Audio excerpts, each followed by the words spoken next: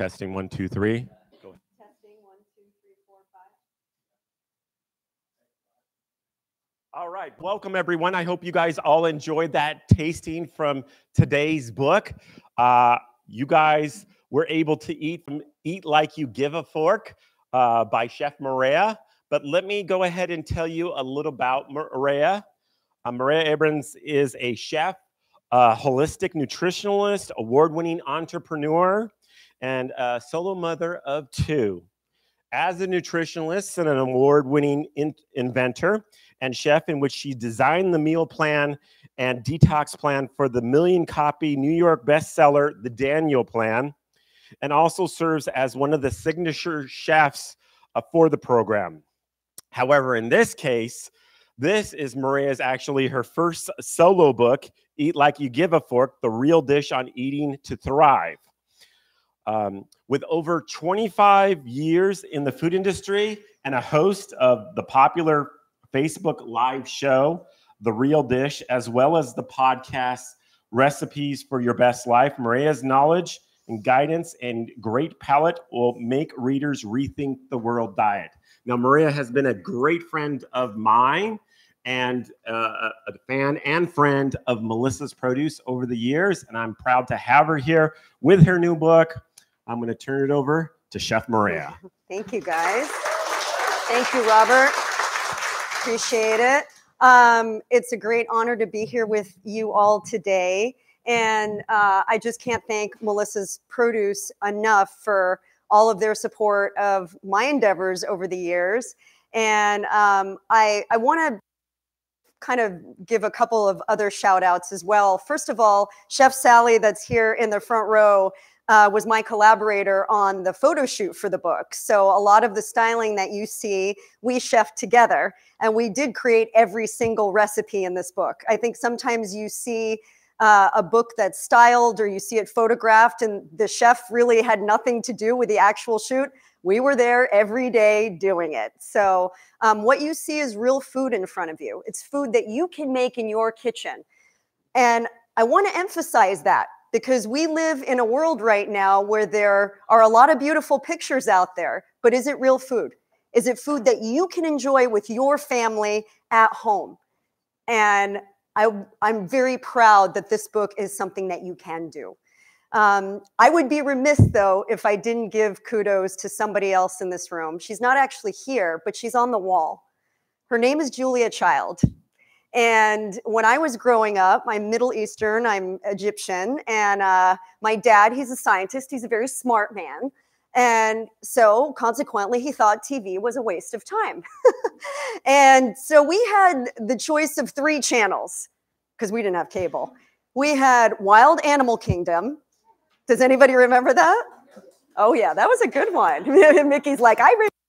Uh, we had Nova because my dad's a scientist. And we had PBS. And so Julia Child would come on in her quirky, six foot two body, very opposite me. I'm on a platform right now.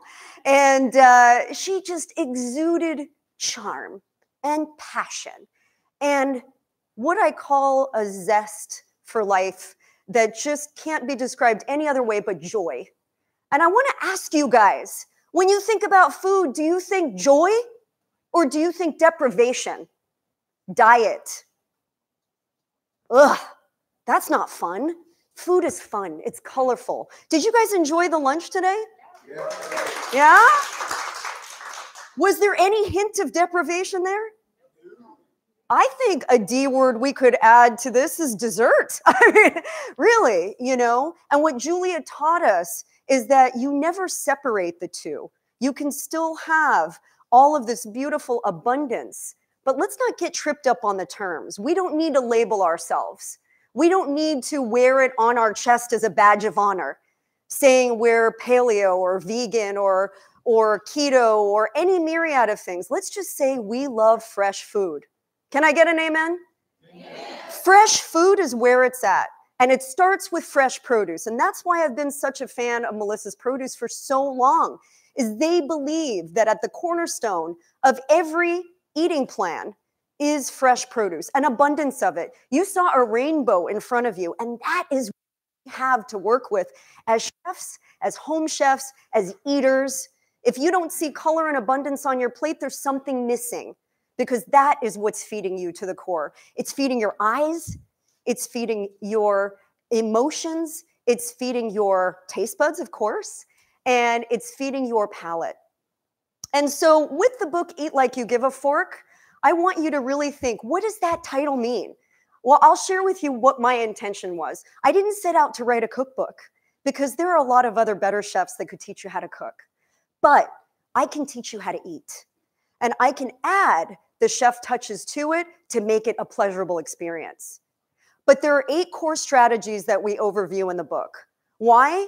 Because you are an omnivore and choices are abundant and it gets so confusing. What do I pick? What's healthy? What does healthy even mean? It can mean so many different things to so many people. You know, I, I get asked this question a lot. Well, are you, uh, so you must be a vegetarian. Well, no, I'm not. I'm an omnivore. However, there are strategies that help you eat to boost your metabolism, lower inflammation, help give you energy so that you thrive and help you in the long run. Because at the end of the day, you invest in your health now or you pay for it later. Can I get an amen on that? I'm going to share a very personal story with you. I lost my mother a month and a half ago. She died of a massive stroke. And as much as I loved her and tried to help her with her eating habits for decades, unless you're ready, unless you take the step and you change and you adopt a healthier, better for you lifestyle, nobody can do it for you. So, guess what I talk about in the beginning of the book before we even talk about the strategies? What's your BHAG? Does anybody know what a BHAG is? It's a big, hairy, audacious goal. What do you want in your life? You were put on this earth to be so much. You have so much in you. So, what's your BHAG? Think about that. Take a minute, actually, as we're talking today, and I want you to write down, uh, maybe put it in your phone, write it down in your own handwriting. What's your BHAG? This book was my BHAG. I, I could just, I could cry. I'm so emotional right now. This was my BHAG. I took 27 years to write this book. It started when I was a little girl and I would go to the market with my grandfather and he'd walk me through the, the streets of Alexandria, Egypt, and he'd show me how to pick fish. You never pick fish without the eyes in it, he would say. Look at the eyes. And he would show me how to purchase a, a melon, how to know it was ripe. And he would teach me how to pick spices from, from the spice bazaar. And food was a celebration. We would come back and we would eat together. And, you know, my parents immigrated. They came to the United States with nothing. I was two.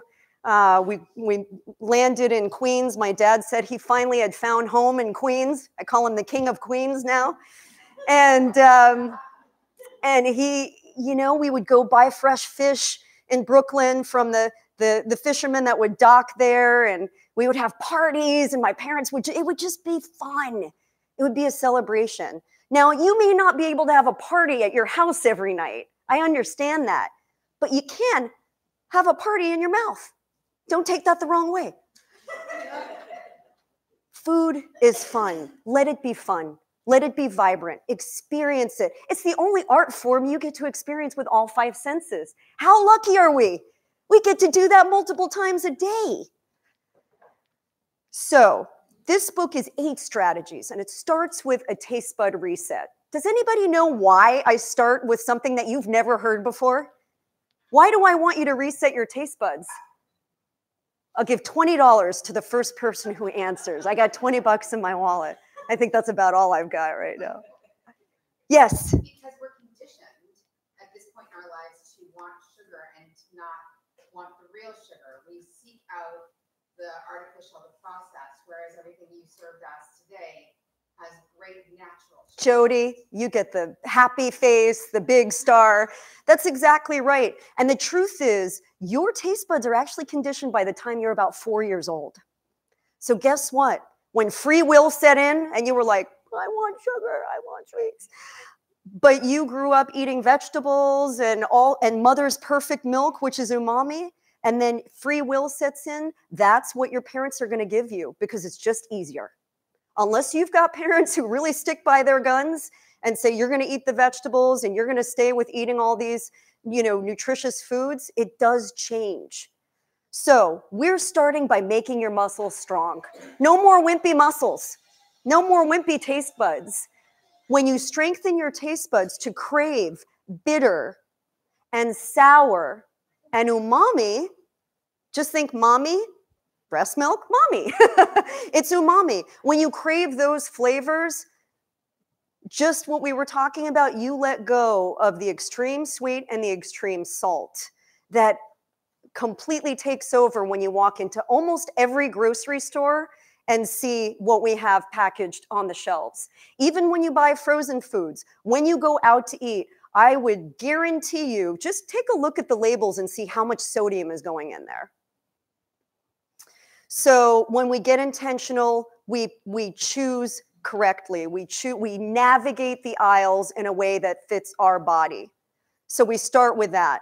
And I, I walk you through a taste bud reset. And I would highly, highly encourage you guys to try this because you may be thinking, well, I really like these foods, but I don't like these foods. This will get you to actually crave, not just want to eat, but crave greens Imagine that. Imagine wanting to eat broccoli over a brownie. Not to say that the brownies, there's anything wrong with it, but there's a place for it. It's just not in the beginning of this book. I'll talk about that in a minute. So we start there, and then we go on to stocking your real kitchen. Because just like a great wardrobe, and ladies, when you look in your wardrobe and you're like, I have nothing to wear, what do you do? you go buy something or you call a girlfriend and you say can i borrow something or or you buy something most likely and when you go home i want you to look in your refrigerator and if what's staring at you is a few sad ketchup packets and some diet soda no shame in that game but it's time to overhaul your fresh wardrobe starts in your refrigerator because when you set yourself up in a place where you can mix and match and you're looking at color and green and reds and oranges and yellow, you're going to have an appetite to want to use it.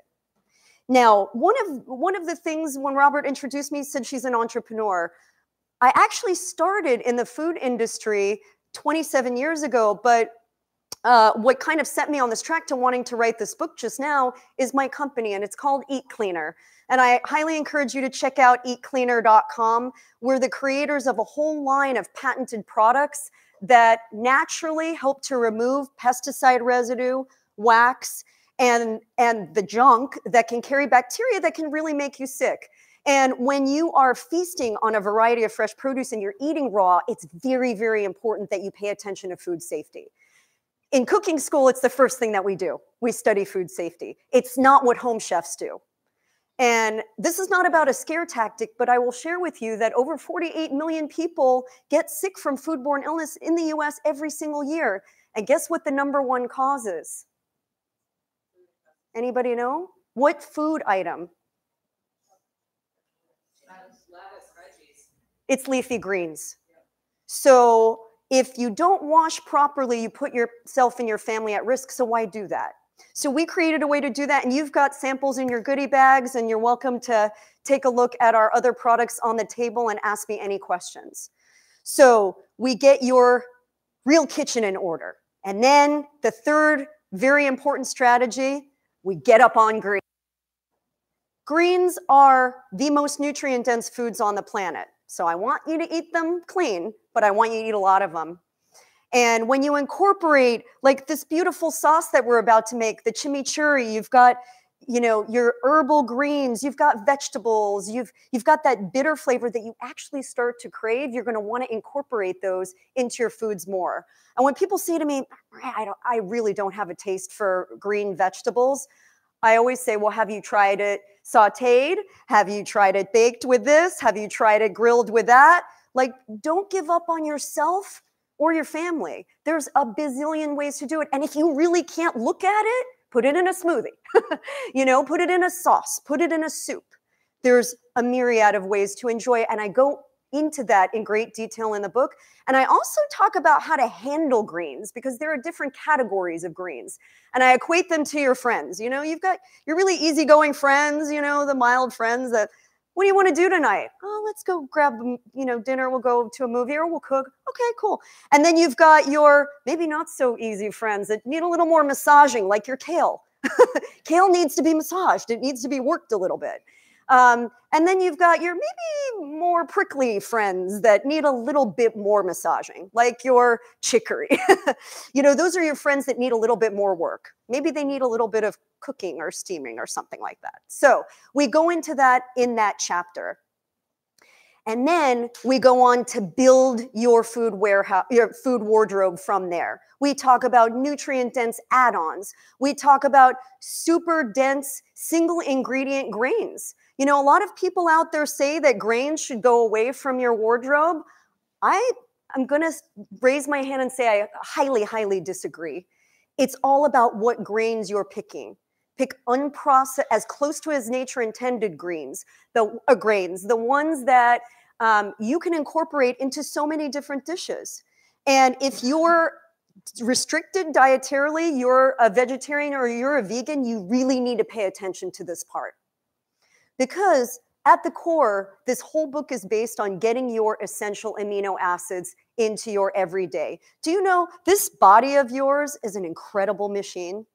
And it doesn't need a lot, but there are essential that's why they call them essential amino acids and people who weight train and bodybuild and do body sculpting and stuff they live and die by this this is how they build muscle this is how they burn fat this is how they build their metabolism. Well, you get to get that without even know having to know what one essential amino acid is, because every single recipe has that baked into it. But you need them every day. You need them to thrive. You need them to regulate your hormones.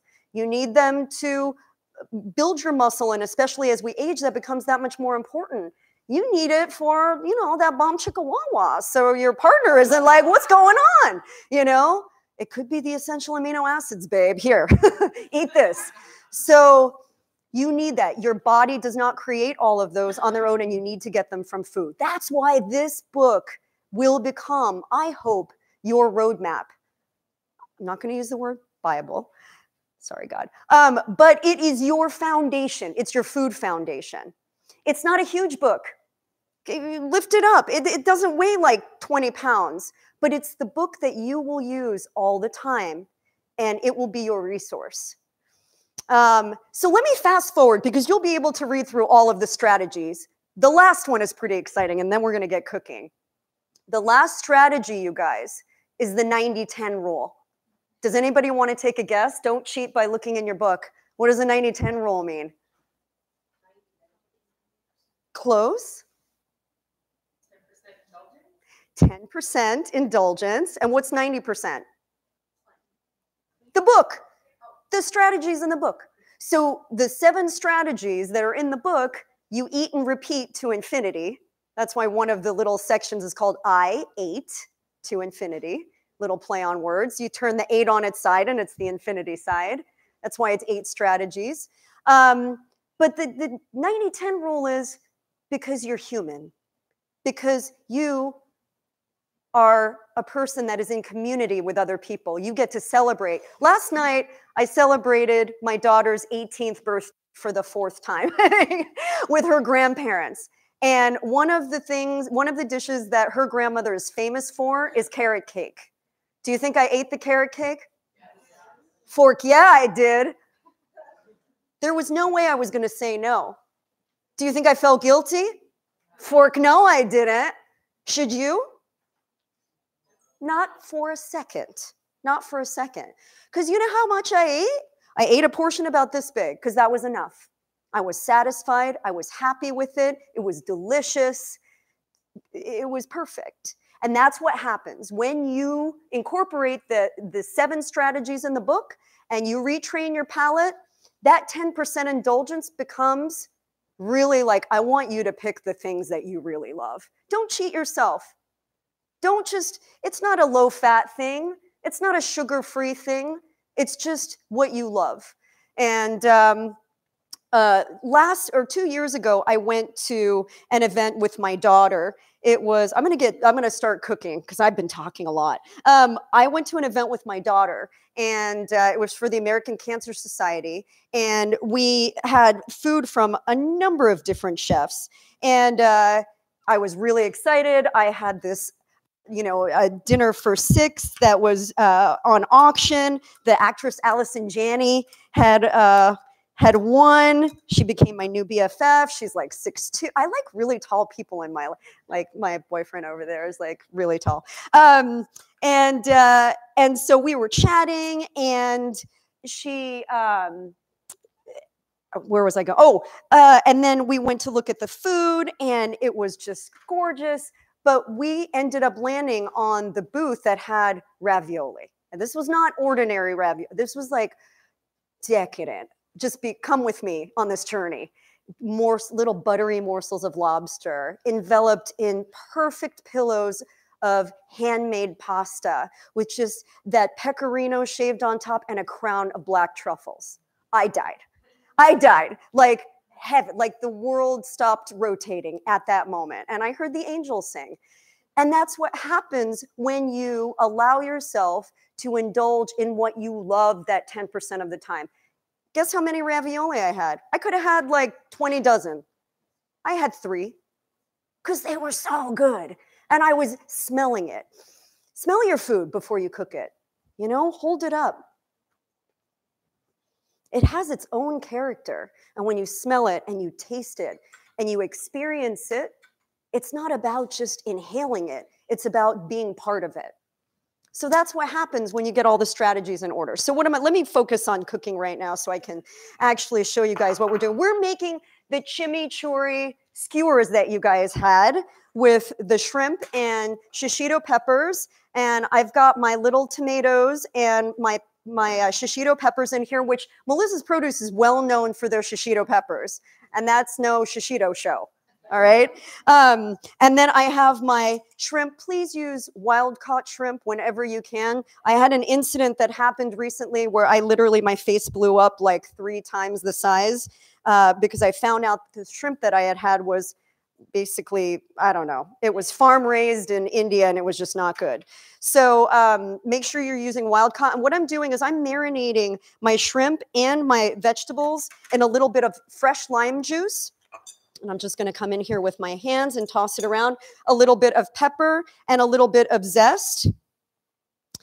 Zest is magic. This is where you get so many nutrients and vitamins and smell, delicious smell, concentrated flavor. And I'm just going to mix those up with a little bit of oil.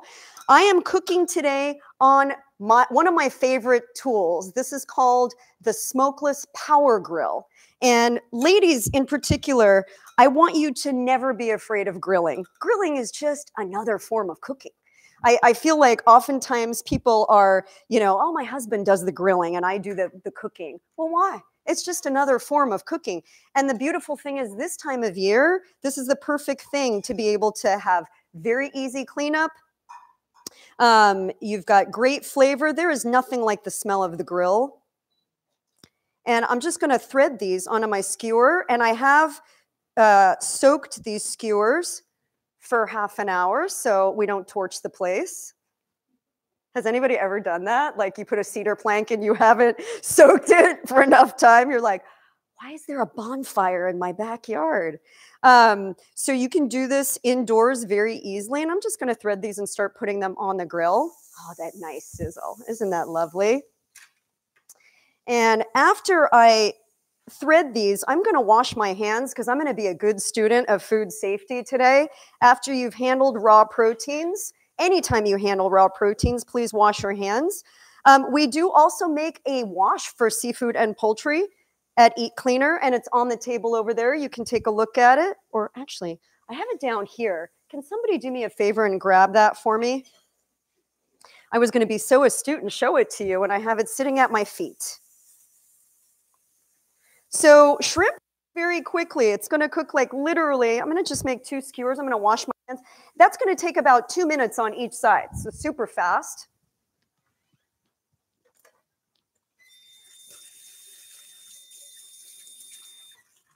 Thank you.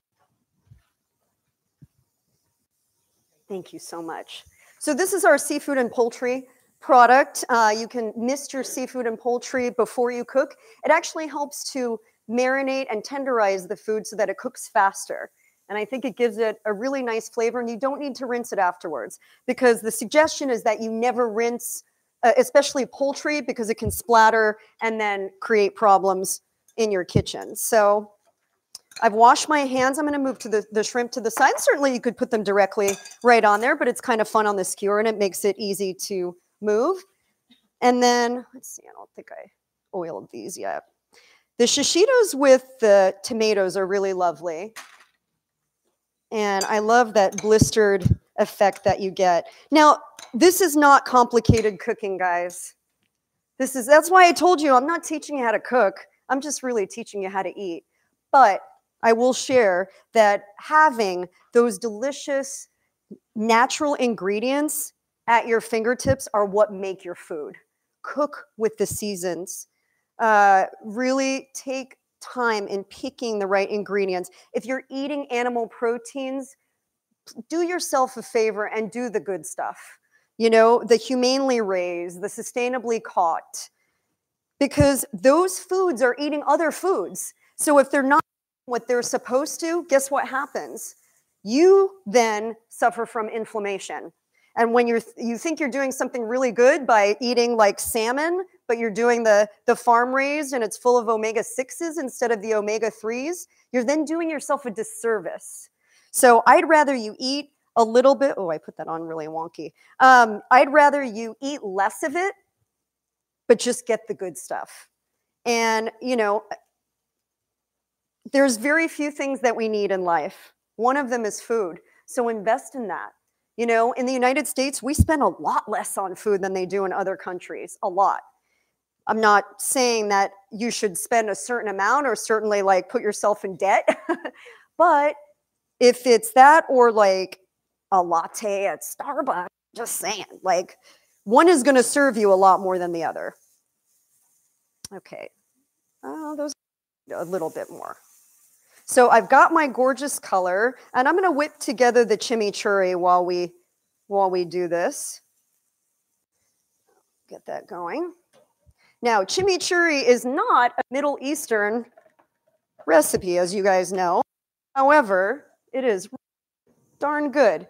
And it's very, uh, it's very versatile in that you can serve this with the shrimp. Normally you would see it like you know, in a, a different application. Maybe it's served with red meat, for example. But I think it's really wonderful with the shrimp. And if you don't do animal proteins, you can do it with tempeh.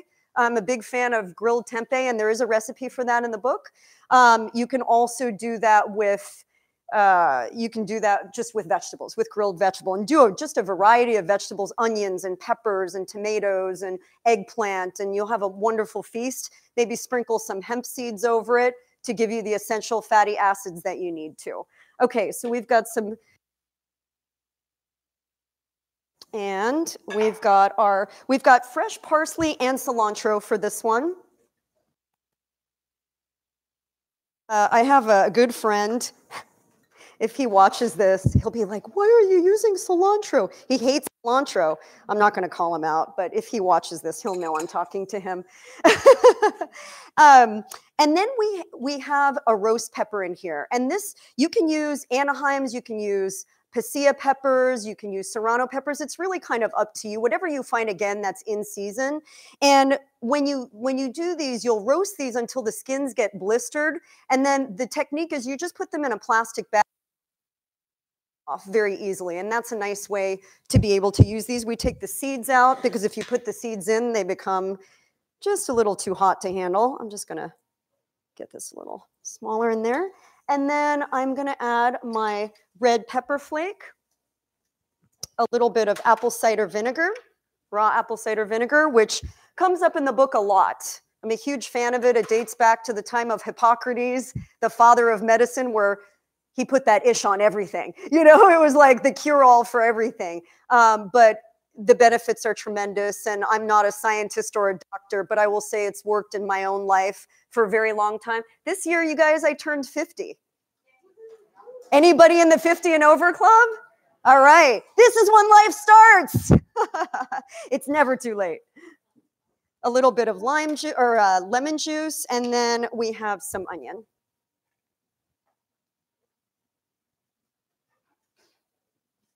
All right. I think I've, did I get every last bit? I want to make sure I did every last bit. And then uh, I will do a little pepper.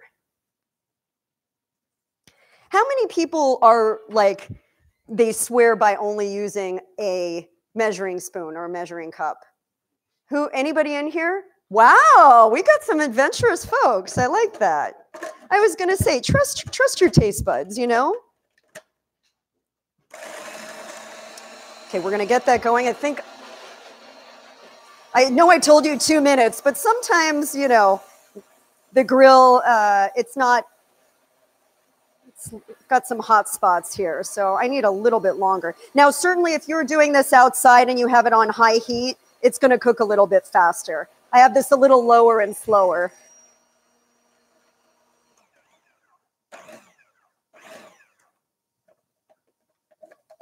All right get my, let's see, my spoon in there, move that around.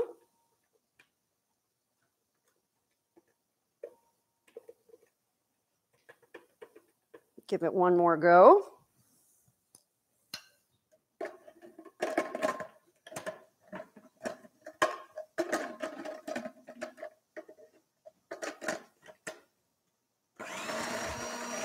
And then, um, and then we're gonna just place this on a nice platter and give it a little drizzle. Now you can serve a little bit of chimichurri on the side, but I highly encourage you like double the recipe because it's one of those things that you can actually freeze. It actually freezes pretty well. You can do it in a little plastic bag and then thaw it.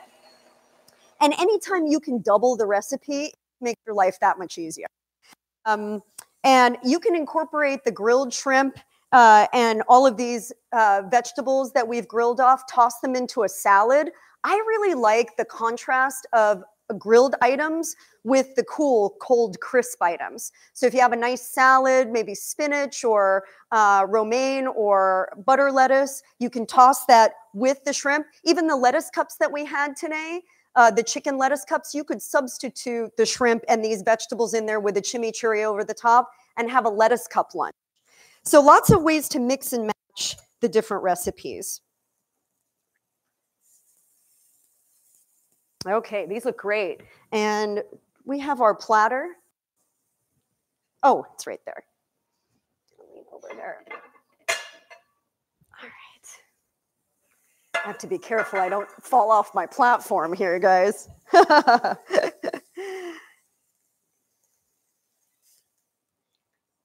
Don't want to overcook the shrimp because then they'll get kind of rubbery and not so fun. Super elegant, simple food. You can't beat it. Is this something everybody can make? 100%. Let's see. Where is my little, oh, I'll use a spoon. Has anybody been intimidated by the idea of making a chimichurri? So easy, right? It just sounds fancy. It's not fancy.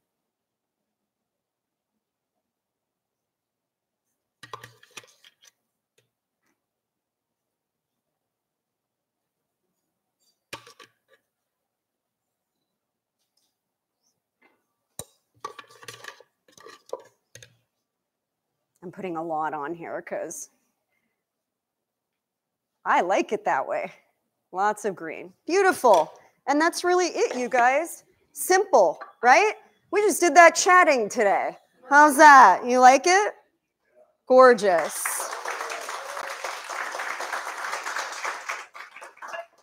All right, so that is our grill work. And do you guys feel a little more empowered to use a grill? Was that hard? So easy. Um, and I always recommend, you know, when you, uh, we talked about doubling the batch, but another strategy that we talk about in the book is convertible meals. When you are, you, you're already here, you're already marinating, you're already getting it ready, get an extra chicken breast or an extra piece of tuna or an extra salmon uh, fillet or whatever you're doing cooked off and then put it into your food wardrobe. And when you go in there, then you know you can grab, oh, yeah, I'm, I'm making lunch for tomorrow. Okay, yeah, I'll grab that. I'll add this. And you start mixing and matching. So, what you have in the book is the foundation, but then you get to be creative in how you mix and match. And we give you lots of convertible meal ideas, and that towards the back of the book. All right, so we're going to put this to the side.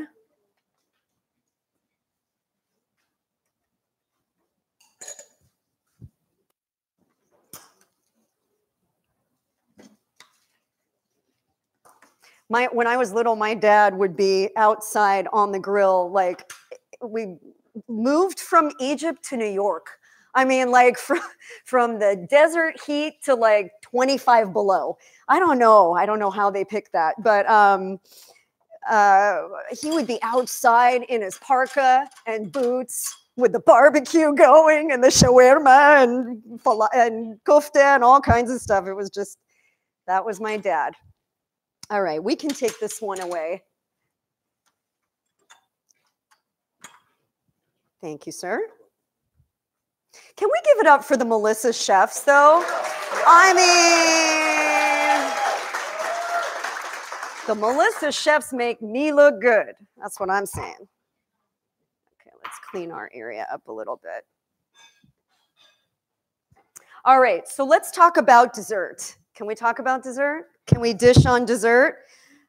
Why do people think you can't have dessert and, and eat to thrive? Why? I, where did we get that idea? You've got chocolate, which is maybe one of the most perfect foods on the planet that's actually good for you. Okay. It's just which chocolate are you picking? Are you picking the one that's loaded with sugar and additives and palm oil and all kinds of other stuff that they add to it? Or are you picking the stuff that is pure? Um, today's recipe is really focused on that. It's focused on the combination of cocoa powder. We're using a dark, uh, we're using an unsweetened cocoa powder and when you pick chocolate, I encourage you to pick 70% or higher um, and try and get the unsweetened. Uh, there's a plentiful choices out there now. It's really amazing what you can find.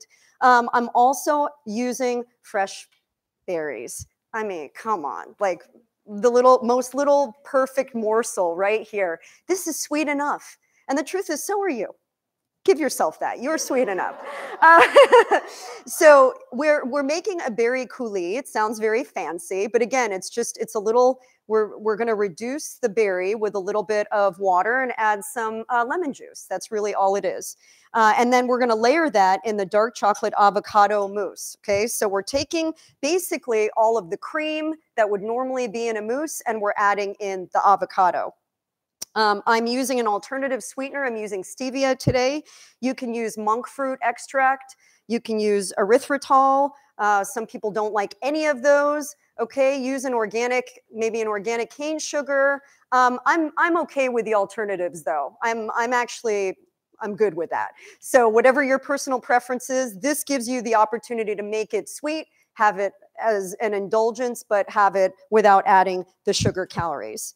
Um, and then we're also going to top it with the, these are called, I don't want to slaughter this, clean snacks. Thank you. Clean snacks with an X. Isn't that cute?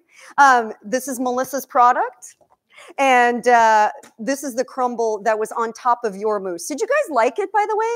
I didn't ask you if you liked it. Okay, good. I'm glad. I'm glad you liked it. So I think, how am I doing on time? Five? Five minutes. Okay. All right. okay. I'm going to step over here. Um, five ish. Okay. So let me set this down. Um, what we're going to do, we've got our lime juice over here, got my water. Okay. What we're going to we're going to get the berries going, but I'm actually going to cheat it a little bit and show you guys what the final sauce looks like. Did I just turn it out? I did just turn it out, didn't I? Oh, there it is. Okay, it was still going. Awesome. All right. Um, I'm going to add my water and I'm going to get my berries going. Basically, you're just going to reduce this down again until you get a nice consistency. You can run it through uh, you can just run it through a little sieve or run it through a little um, a strainer. I'm sorry, my brain. Um, run it through a strainer and take your spoon and just run it through the strainer to get the seeds out, and you'll get a nice silky sauce. We're gonna let that go for a little bit, and then I'll show you with the final little bit of lemon juice. You can take the back of your spoon and just give it a little bit of a mash to get it going. Break it down.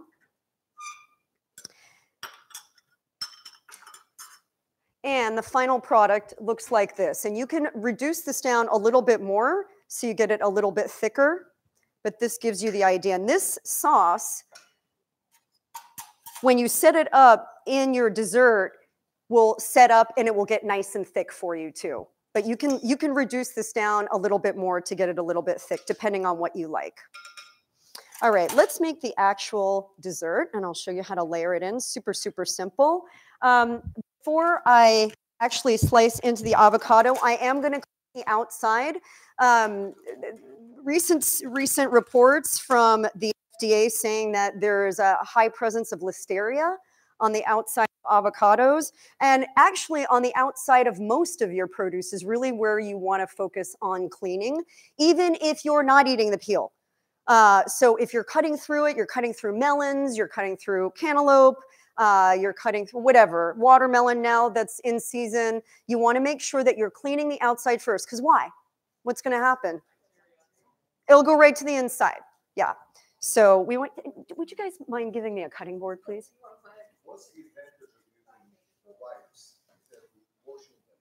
Um, I'm using our wipes right now just because it's a little bit easier. Normally, I would just spray them let it sit for two minutes and give it a quick rinse, and I'd wash all, all of my produce at once. This is, this is our treatment for actually cleaning the residue that water can't. Because you think about it, look at the surface of this avocado. If you rinse it, the water's just going to splash over the top. I mean, if you've ever tried to rinse broccoli, it just the crown it just kind of splashes. But thank you. Um, but when you have when you use the product, it actually helps to cling to it.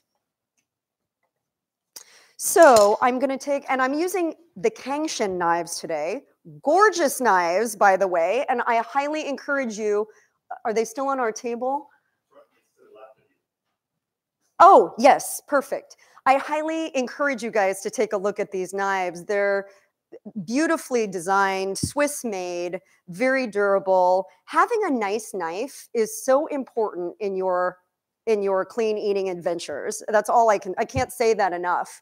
Um, and the way that the handle feels in your hand is really important. This is, it's really nicely weighted. Um, I've got a variety of knives here for you guys to take a look at too, but having something that you feel comfortable with and having sharp knives is also really important. So I am going to cut into that. And just twist out my pit. And if you don't feel comfortable with doing that, there are tools so that you can take out your, uh, your pit also.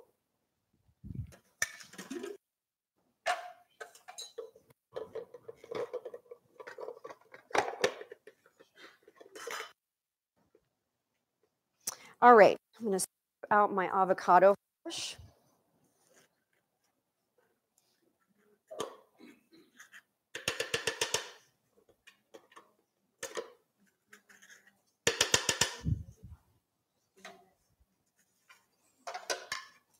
Hmm, make sure, am I using half or a whole one in this one? I usually make so much of this, and when you create a, yeah, it's the whole one. When you create a recipe for a book, you have to start paying attention to serving size. I'll usually just make a whole bunch of it to last the week, and then they're like, well, how many people does that serve? Oh, well, probably more. Okay, so we've got our avocado, and then we have our unsweetened cocoa powder going in. Again, these ingredients are the things that I want you to focus on getting the really good stuff. Because a good quality uh, cocoa powder will go the distance for you and you will taste the difference. It's very significant. So I can share some brands with you like to. And then we've got our sweetener.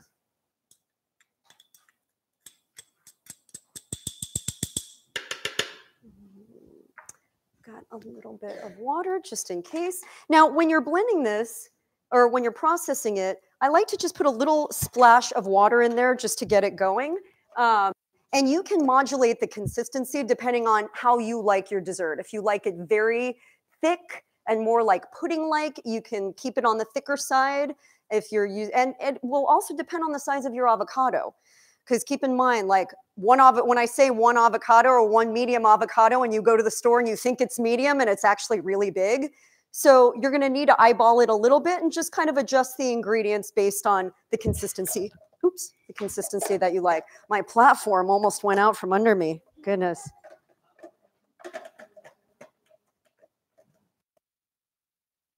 The other side.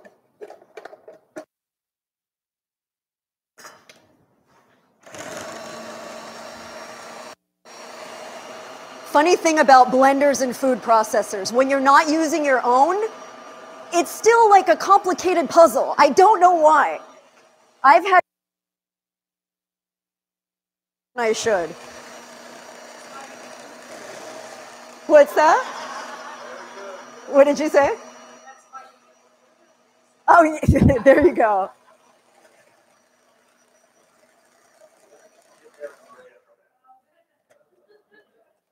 Okay. Mm. And what you have, guys, look at that. Look at that beautiful silky chop. Do you see any avocado in there? You guys, this is the best dessert for the picky, finicky eaters in life because they won't be able to tell. And I won't tell anybody either. I won't tell anybody either. All right, so we're going to layer this in. And again, you could do this in a beautiful flute, a parfait glass, a martini glass. Just have fun with it. Make it pretty. And this would be for two.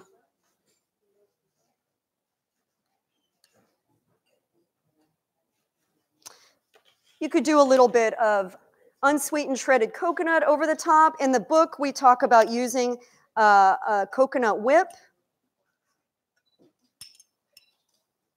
And after you've layered these, I suggest, like I said, just set it up in the refrigerator so that it gets a little bit thicker for you. Or you can reduce the sauce down a little bit more too. And then you can finish it with the snacks.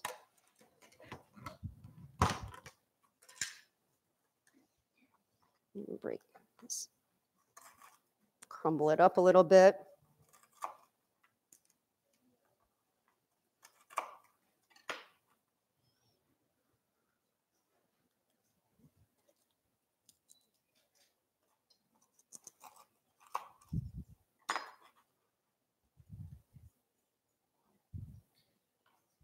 Uh, I like a little more. Why not? There we go. All right. So we've got our lovely pudding. We've got a little bit of that great berry on top. You could layer it a little bit differently where you could do alternate layers in a nice parfait glass. Just have fun with it. And uh, nobody's ever going to, I'm telling you, this could be breakfast right? We've got cocoa powder, we've got avocado, we've got a little bit of sweetener, something that tastes almost like granola, a little fruit. You're, you, I'm giving you license to have dessert for breakfast right there.